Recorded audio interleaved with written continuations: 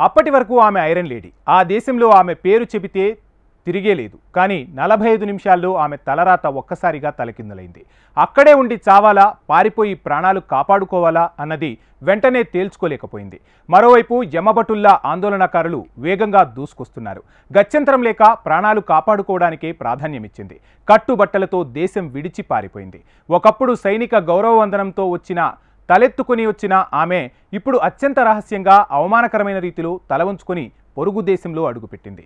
ఎటు వెళ్ళాలో దిక్కుతోచని పరిస్థితుల్లో కొట్టుమిట్టాడుతోంది. ఆశ్రయం కోసం చూస్తున్న ఆమెకు అన్ని వైపులా దారులు మూసుకుపోతున్నాయి.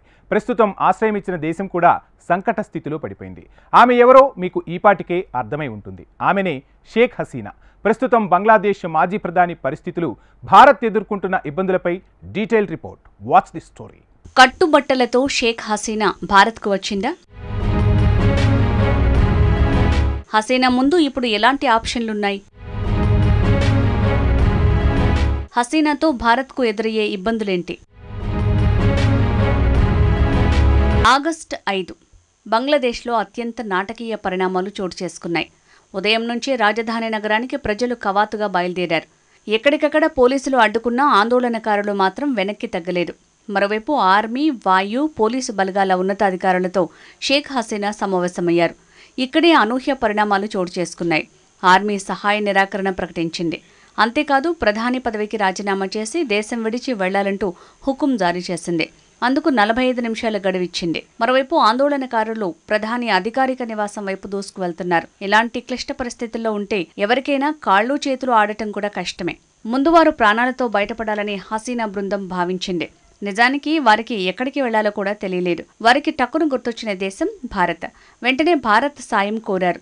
కఠినమైన పరిణామాల నేపథ్యంలో కట్టుబట్టలతో షేక్ హసీనా ఆమెకు అత్యంత సన్నిహితులైన అధికారులు సహాయకులతో సహా ఢాకా నగరం నుంచి బయటపడ్డారు.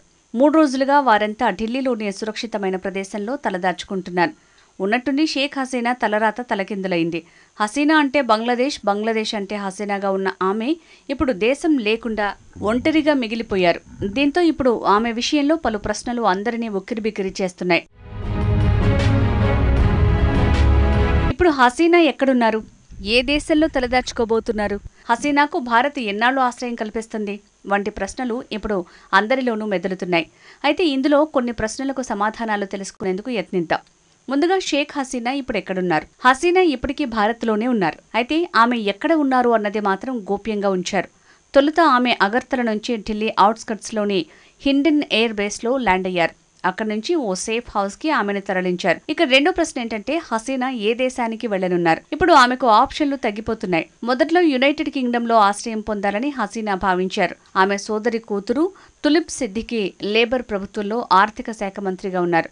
ఆమె అత్యంత కీలకమైన నాయకురాలు. అయినా కానీ హసీనాకు లండన్ ఆశ్రయం కల్పించడానికి మీనమేషాలు లెక్కిస్తోంది. యూకే బయట ఉన్నవారికి ఆశ్రయం కల్పించలేమని బ్రిటిషర్లు చెప్తున్నారు. ఆమె మొదట అడుగుపెట్టిన దేశంలోనే ఆశ్రయం కోరాలని సూచించింది. ఫస్ట్ అడుగుపెట్టిన దేశం అంటే భారతే. అంటే ఆమెకు భారతే సేఫ్ అని చెప్పకనే బ్రిటిషర్లు చెప్పారన్నమాట. ఇక హసీనాకు సెకండ్ ఆప్షన్ యునైటెడ్ స్టేట్స్. అక్కడ ఆమె కుమారుడు సాజిబ్ వాజేద్ లాయర్గా పనిచేస్తున్నాడు. కానీ ప్రధాని పదవికి హసీనా రాజీనామా చేసిన తర్వాత యునైటెడ్ స్టేట్స్ ఆమె వీసాను రద్దు చేసింది. హసీనాకు మూడో ఆప్షన్ ఫిన్లాండ్. అక్కడ కూడా ఆమె కుటుంబ సభ్యులున్నారు. హసీనా సోదరి కుమారుడు రద్వాన్ ముజిబ్ సిద్దికి హెల్సింకిలో పనిచేస్తున్నారు. ఫిన్నిస్ జాతీయురాలిని పెళ్ళి చేసుకున్నాడు. కానీ ఫిన్లాండ్ ప్రభుత్వం సైతం మౌనంగా ఉండిపోయింది. దీంతో ఇక హసీనాకు ఉన్న ఒకే ఒక మార్గం పశ్చిమాసియా. సౌదీ అరేబియా లేదంటే యుఏఈలో ఆశ్రయాన్ని హసీనా కోరుకునే అవకాశం ఉంది. ఈ రెండు దేశాల నుంచి కూడా పెద్దగా స్పందన లేదు. ఇవన్నీ కేవలం ప్రచారం మాత్రమే. అయితే భారత్ హసీనాకు ఎందుకు ఆశ్రయం ఇవ్వకూడదు? ఆమె భారత్లోనే ఎందుకు ఉండకూడదు? నిజానికి హసీనా కూతురు సైతం ఢిల్లీలోనే నివసిస్తోంది. యాభై ఏళ్ళ క్రితం ఆమె కుటుంబం మొత్తాన్ని బంగ్లాదేశ్లో చంపేశారు. ఆ సమయంలో హసీనా కుటుంబానికి భారత్ ఆశ్రయం కల్పించింది. అయితే అప్పుడు ఇచ్చారు కదా? ఇప్పుడెందుకు ఢిల్లీ ఆశ్రయం కల్పించటం లేదు? ఎందుకంటే ఇప్పుడు సమీకరణలు మారిపోయాయి. ఢాకాలో షేక్ హసీనాపై ప్రజల్లో తీవ్ర ఆగ్రహం వ్యక్తమవుతోంది. ఇలాంటి తరుణంలో ఆమెకు ఆశ్రయం కల్పించటం కోరి ఇబ్బందుల్ని తెచ్చుకోవటమే. అంతేకాదు భారత్ తన విధానాలకు అనుగుణంగా నిర్ణయాలు తీసుకుంటుంది. ఆఫ్ఘనిస్తాన్లో ప్రభుత్వం కుప్పకూలినప్పటి పరిస్థితులు గుర్తున్నాయా? రెండు వేల ఇరవై ఒకటి ఆగస్టు పదిహేనున తాలిబన్లు ఆఫ్ఘనిస్తాన్ను సొంతం చేసుకున్నారు. దీంతో చాలామంది ఆఫ్ఘన్ పౌరులు వివిధ దేశాలకు పయనమయ్యారు. అదే సమయంలో కొందరు ఆఫ్ఘన్ అధికారులు ఆశ్రయం కోసం భారత్ను సంప్రదించారు. కానీ వారికి ఆశ్రయం కల్పించేందుకు ఢిల్లీ నిరాకరించింది.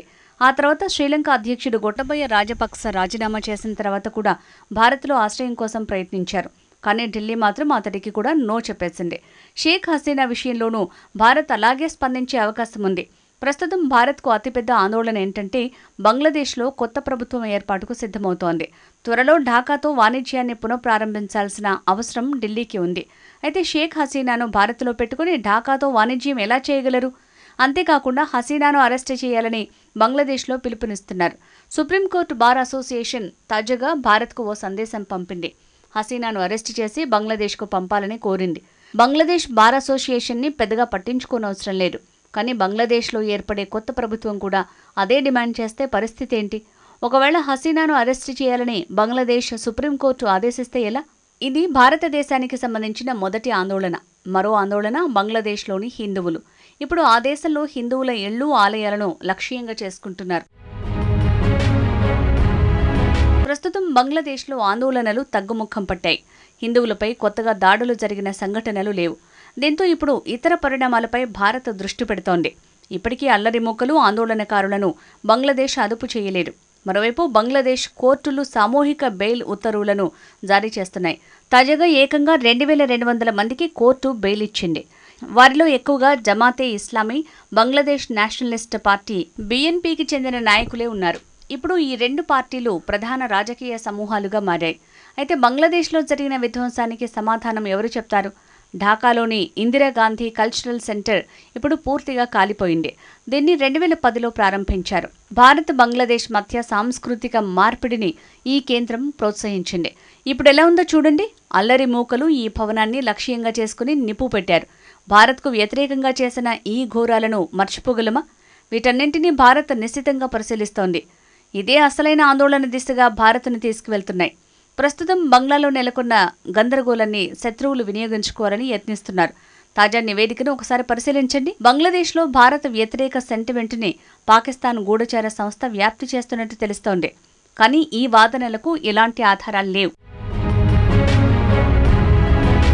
పాకిస్తాన్ గూఢచార సంస్థపై ఆరోపణలు ఉన్నాయి.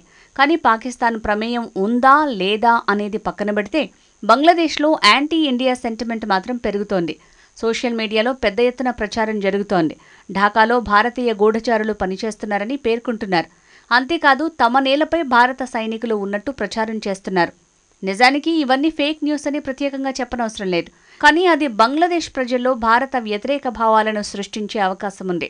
ఇలాంటి అంశాలపై భారత్ అప్రమత్తంగా ఉండాలి. తప్పుడు సమాచారాలను ఖండించాల్సిందే.